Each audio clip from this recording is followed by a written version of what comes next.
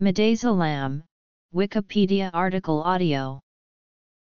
Midazolam, marketed under the trade name Versed, among others, is a medication used for anesthesia, procedural sedation, trouble sleeping, and severe agitation.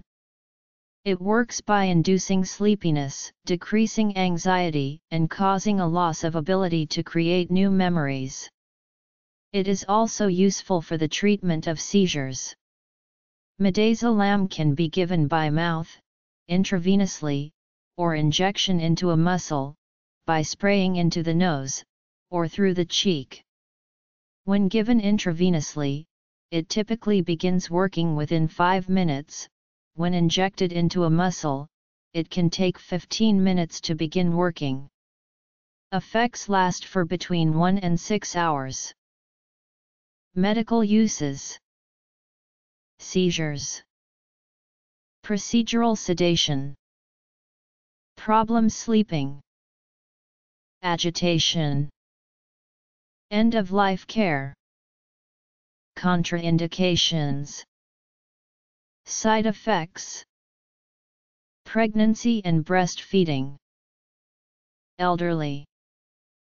Tolerance, dependence, and withdrawal Overdose. Detection in body fluids. Interactions. Pharmacology. History. Society and culture. Cost. Availability. Legal status. Marketing authorization. Use in executions Side effects can include a decrease in efforts to breathe, low blood pressure, and sleepiness. Tolerance to its effects and withdrawal syndrome may occur following long-term use. Paradoxical effects, such as increased activity, can occur especially in children and older people. There is evidence of risk when used during pregnancy but no evidence of harm with a single dose during breastfeeding. It is of the benzodiazepine class and works through the GABA neurotransmitter. Midazolam first came into use in 1976. It is on the World Health Organization's list of essential medicines, the most effective and safe medicines needed in a health system. Midazolam is available as a generic medication and is not very expensive. The wholesale cost in the developing world of a vial is about 35 cents. In many countries, it is a controlled substance. Midazolam is sometimes used for the acute management of seizures. Long-term use for the management of epilepsy is not recommended due to the significant risk of tolerance and the significant side effect of sedation. A benefit of midazolam is that in children it can be administered buccally or intranasally at home or at school for emergency control of acute seizures, including status epilepticus. Midazolam is effective for status epilepticus that has not improved following other treatments or when intravenous access cannot be obtained, and has advantages of being water-soluble, having a rapid onset of action and not causing metabolic acidosis from the propylene glycol vehicle, which occurs with other benzodiazepines. Drawbacks include a high degree of breakthrough seizures due to the short half-life of midazolam in over 50% of people treated, as well as treatment failure in 14-18% of people with refractory status epilepticus. Tolerance develops rapidly to the anticonvulsant effect, and the dose may need to be increased by several times to maintain anticonvulsant therapeutic effects. With prolonged use, tolerance and tachyphylaxis can occur and the elimination half-life may increase, up to days. There is evidence buccal and intranasal midazolam is easier to administer and more effective than rectally administered diazepam in the emergency control of seizures. Intravenous midazolam is indicated for procedural sedation, for preoperative sedation, for the induction of general anesthesia, and for sedation of people who are ventilated in critical care units.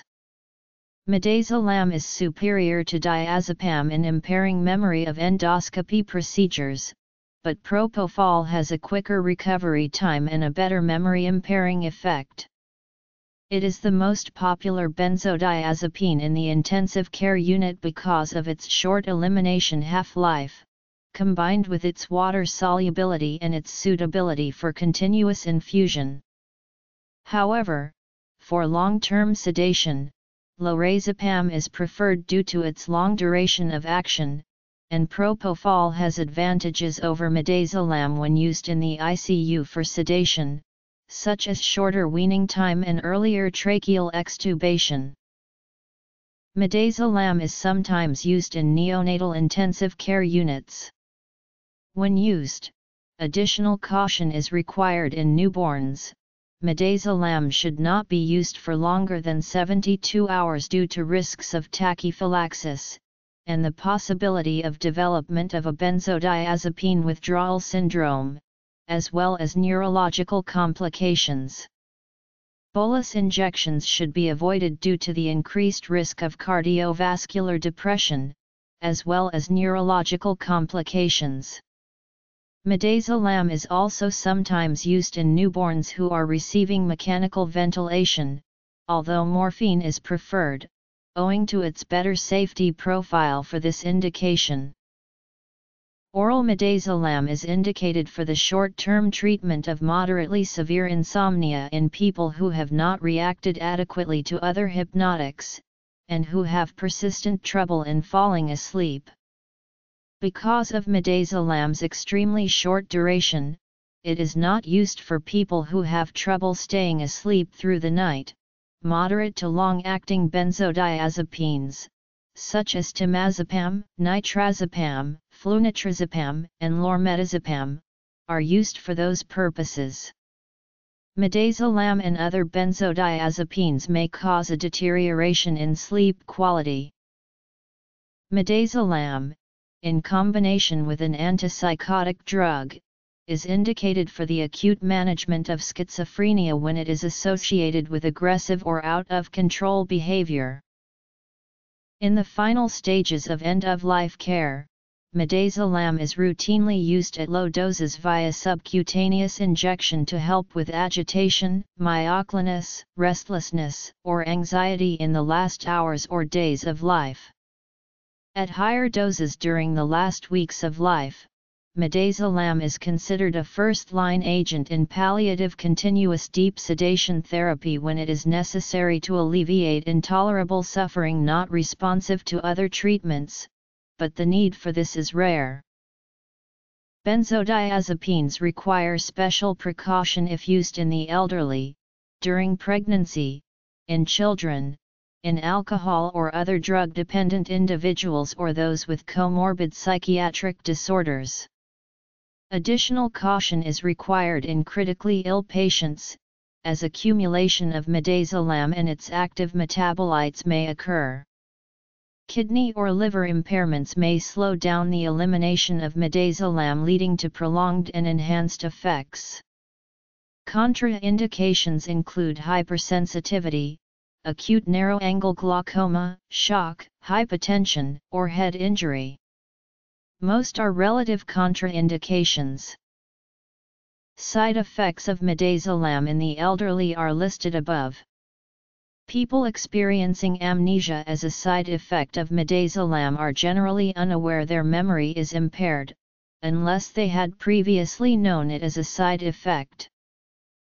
Long-term use of benzodiazepines has been associated with long-lasting deficits of memory, and show only partial recovery six months after stopping benzodiazepines. It is unclear whether full recovery occurs after longer periods of abstinence. Benzodiazepines can cause or worsen depression. Paradoxical excitement occasionally occurs with benzodiazepines, including a worsening of seizures. Children and elderly individuals or those with a history of alcohol abuse and individuals with a history of aggressive behavior or anger are at increased risk of paradoxical effects. Paradoxical reactions are particularly associated with intravenous administration. After nighttime administration of midazolam, residual hangover effects, such as sleepiness and impaired psychomotor and cognitive functions, may persist into the next day.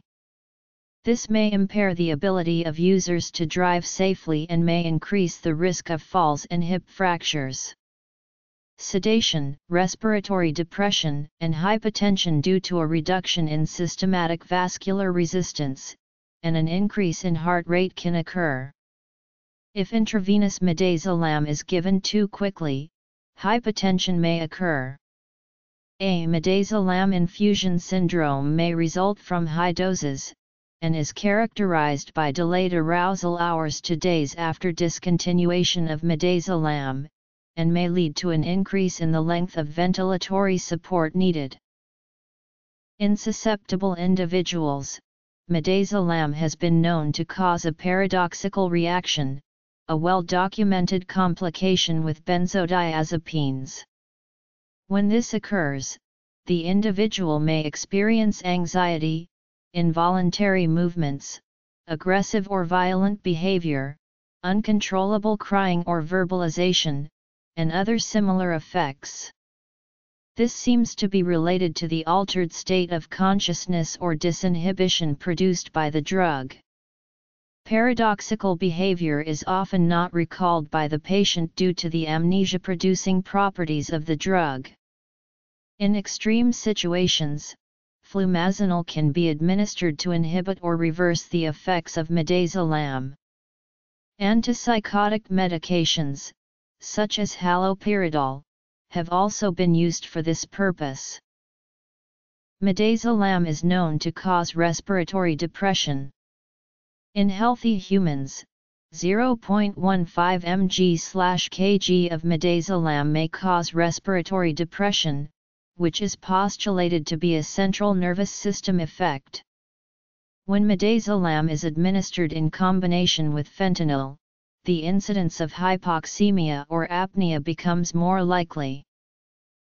Although the incidence of respiratory depression slash arrest is low when midazolam is administered alone at normal doses, the concomitant use with CNS-acting drugs, mainly analgesic opiates, may increase the possibility of hypotension, respiratory depression, respiratory arrest, and death, even at therapeutic doses.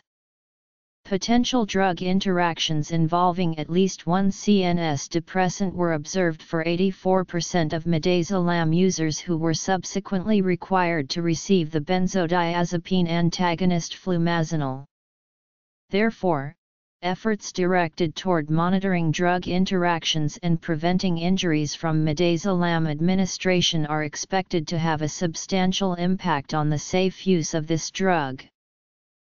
Midazolam, when taken during the third trimester of pregnancy, may cause risk to the neonate, including benzodiazepine withdrawal syndrome, with possible symptoms including hypotonia, apnoeic spells, cyanosis, and impaired metabolic responses to cold stress.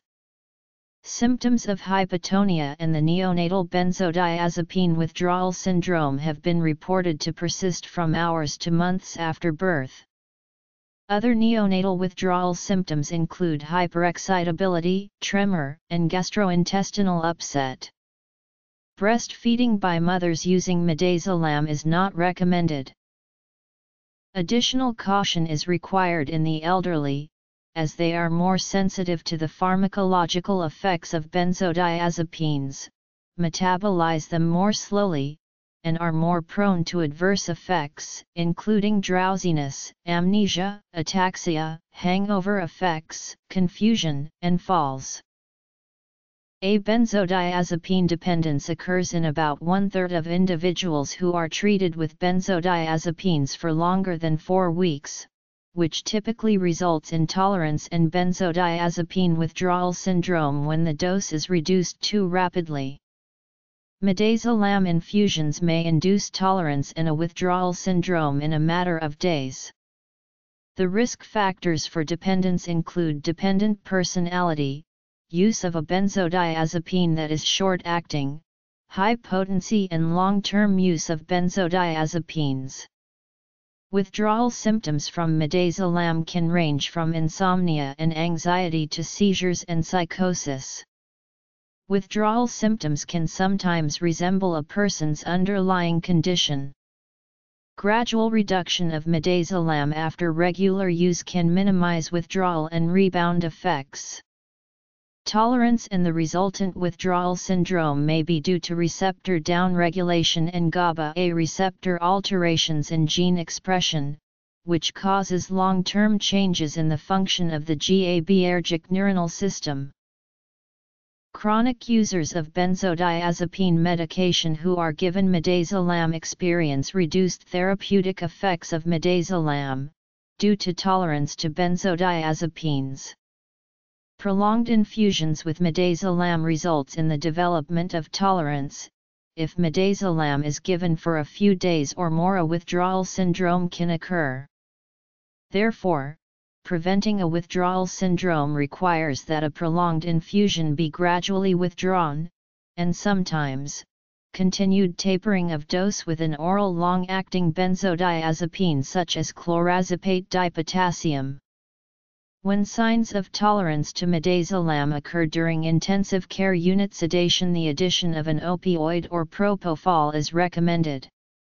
Withdrawal symptoms can include irritability, abnormal reflexes, tremors, clonus, hypertonicity, delirium, and seizures, nausea, vomiting, diarrhea, tachycardia, hypertension, and tachypnea.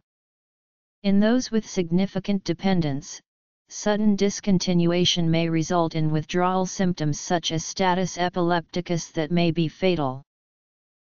A midazolam overdose is considered a medical emergency and generally requires the immediate attention of medical personnel. Benzodiazepine overdose in healthy individuals is rarely life-threatening with proper medical support, however, the toxicity of benzodiazepines increases when they are combined with other CNS depressants such as alcohol, opioids, or tricyclic antidepressants. The toxicity of benzodiazepine overdose and risk of death is also increased in the elderly and those with obstructive pulmonary disease or when used intravenously. Treatment is supportive. Activated charcoal can be used within an hour of the overdose. The antidote for an overdose of midazolam is flumazenil. While effective in reversing the effects of benzodiazepines it is not used in most cases as it may trigger seizures in mixed overdoses and benzodiazepine-dependent individuals.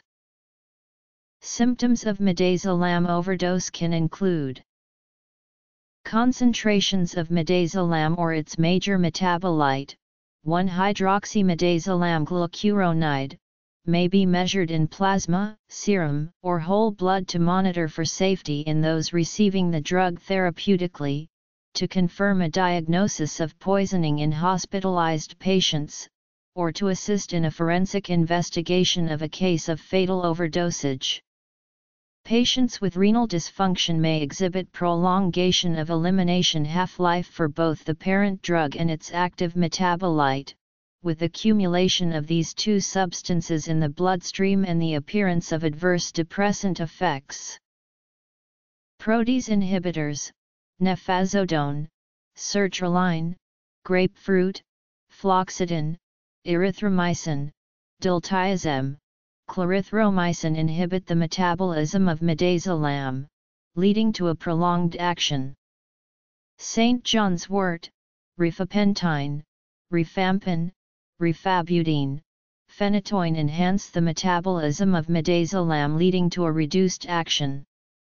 Sedating antidepressants, anti-epileptic drugs such as phenobarbital, phenytoin, and carbamazepine, sedative antihistamines, opioids, antipsychotics and alcohol enhance the sedative effects of midazolam. Midazolam is metabolized almost completely by cytochrome P4503A4. Atorvastatin administration along with midazolam results in a reduced elimination rate of midazolam. St. John's wort decreases the blood levels of midazolam. Grapefruit juice reduces intestinal 3A4 and results in less metabolism and higher plasma concentrations. Midazolam is a short-acting benzodiazepine in adults with an elimination half-life of 1.5 to 2.5 hours. In the elderly, as well as young children and adolescents, the elimination half-life is longer. Midazolam is metabolized into an active metabolite alpha-1-hydroxymidazolam. Age-related deficits, renal and liver status affect the pharmacokinetic factors of midazolam as well as its active metabolite. However, the active metabolite of midazolam is minor and contributes to only 10% of biological activity of midazolam. Midazolam is poorly absorbed orally, with only 50% of the drug reaching the bloodstream. Midazolam is metabolized by cytochrome P450 enzymes and by glucuronide conjugation. The therapeutic as well as adverse effects of midazolam are due to its effects on the GABA-A receptors. Midazolam does not activate GABA-A receptors directly but, as with other benzodiazepines, it enhances the effect of the neurotransmitter GABA on the GABA-A receptors resulting in neural inhibition. Almost all of the properties can be explained by the actions of benzodiazepines on GABA-A receptors. This results in the following pharmacological properties being produced, sedation, induction of sleep, reduction in anxiety, anterograde amnesia, muscle relaxation, and anticonvulsant effects. Midazolam is among about 35 benzodiazepines currently used medically, and was synthesized in 1975 by Walser and Fryer at Hoffmann La Roche, Inc. in the United States. Owing to its water solubility, it was found to be less likely to cause thrombophlebitis than similar drugs. The anticonvulsant properties of midazolam were studied in the late 1970s, but not until the 1990s did it emerge as an effective treatment for convulsive status epilepticus. As of 2010, it is the most commonly used benzodiazepine in anesthetic medicine. In acute medicine, midazolam has become more popular than other benzodiazepines, such as lorazepam and diazepam, because it is shorter lasting, is more potent, and causes less pain at the injection site.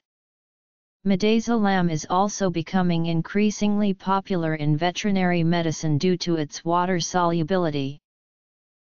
Midazolam is available as a generic medication and is not very expensive. The wholesale price of a vial is about 35 cents. Midazolam is available in the United States as a syrup or as an injectable solution. Dormicum brand midazolam is marketed by Roche as white, oval, 7.5 mg tablets in boxes of 2 or 3 blister strips of 10 tablets, and as blue, oval, 15 mg tablets in boxes of 2 blister strips of 10 tablets. The tablets are imprinted with Roche on one side and the dose of the tablet on the other side. Dormicum is also available as 1, 3, and 10 ml ampoules at a concentration of 5 mg/ml. Another manufacturer, Novell Pharmaceutical Laboratories, makes it available as Milaz in 3 and 5 ml ampoules. Midazolam is the only water-soluble benzodiazepine available. Another maker is Roxane Laboratories, the product in an oral solution, midazolam HCl syrup, 2 mg/ml clear, in a red to purplish red syrup, cherry in flavor. It becomes soluble when the injectable solution is buffered to a pH of 2.93.7. Midazolam is also available in liquid form. It can be administered intramuscularly, intravenously, intrathecally, intranasally, buccally, or orally. In the Netherlands, midazolam is a List 2 drug of the opium law. Midazolam is a Schedule 4 drug under the Convention on Psychotropic Substances. In the United Kingdom, midazolam is a Schedule 3-Class C controlled drug. In the United States, midazolam is on the Schedule 4 list of the Controlled Substances Act as a non-narcotic agent with low potential for abuse. In 2011, the European Medicines Agency granted a marketing authorization for a buccal application form of midazolam, sold under the trade name Buccolam. Buccolam was approved for the treatment of prolonged, acute, convulsive seizures in people from 3 months to less than 18 years of age. This was the first application of a pediatric use marketing authorization. The drug has been introduced for use in executions by lethal injection in certain jurisdictions in the United States in combination with other drugs.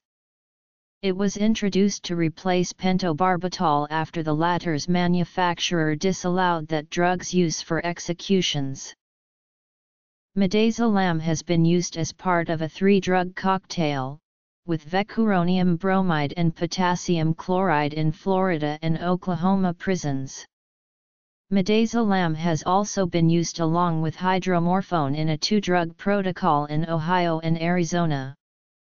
Ohio used midazolam in the execution of Dennis McGuire in January 2014. It took McGuire 24 minutes to die after the procedure started, and he gasped and appeared to be choking during that time, leading to questions about the dosing and timing of the drug administration, as well as the choice of drugs. In October 2016, the U.S. state of Ohio announced that it would resume executions in January 2017, using the midazolam vecuronium bromide potassium chloride cocktail, but this was blocked by a federal judge. On July 25, 2017, Ronald Phillips was executed with a three-drug cocktail including midazolam after the Supreme Court refused to grant a stay. Prior to this, the last execution in Ohio had been that of Dennis McGuire. Murderer Gary Otte's lawyers unsuccessfully challenged his Ohio execution, arguing that midazolam might not protect him from serious pain when the other drugs are administered. He died without incident in about 14 minutes on September 13, 2017.